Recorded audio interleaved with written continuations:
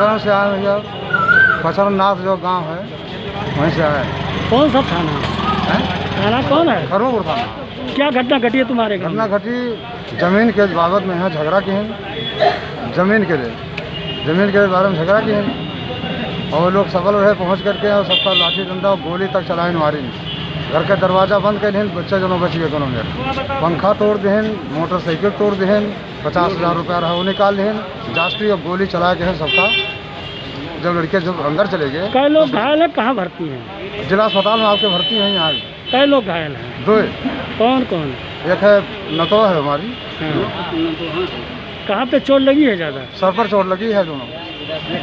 अच्छा थाने में तहरीर दी गई? थाने में तहरीर दिन गए तहरीर बदल दिन गए। हाँ हम्म लिखन को दोसर और कहीं कि हम जाए थे उनका पकड़े तक तहरीर में जितना लिखा होगा कि वहाँ गोली दगा वो सब लिखा होगा वो तहरीर बदल गई हैं और दोसर तहरीर मुँह और छपरा लाठी डंडा और कहाँ से आई है? क्या घटना घटी है? अनीता नाम है साहब पचरम नासियान है खरगुपुर थाना है और शाम का है झगड़ा भा है जमीनी बारे में मार भा है ओकरे बारे में उसे लोहे के सरिया से मारी नहीं सुमन चोट खाए हैं ओकरे बाद में यहाँ अनीता चोट खा अनीता के बाद में पूनम घायल है।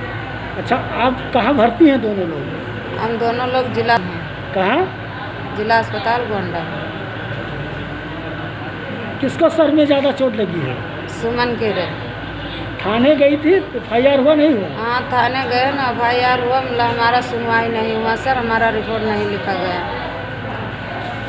एफ़ सी आर लिख लिया कि तहरीर नहीं लिखा गया गंभीर चोट।